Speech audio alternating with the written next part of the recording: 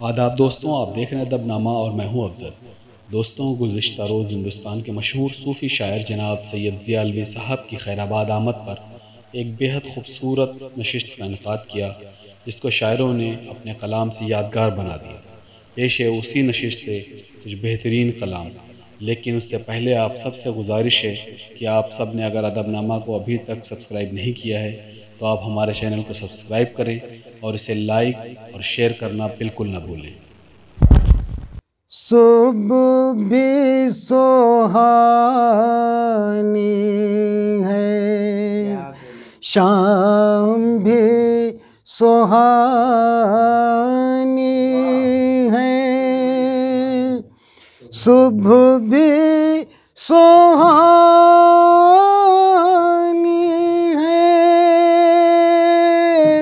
शाम भी सुहानी है।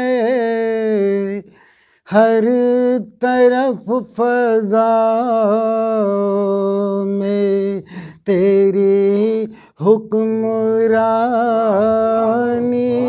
है। हर तरफ़ फजा में तेरी हुक्मरानी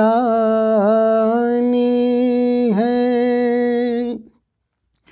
हुस्न एक दरिया है। इश्क एक रवानी है।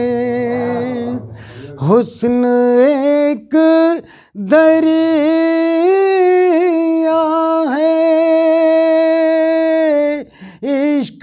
एक रवानी है। हाँ यही हकीकत है।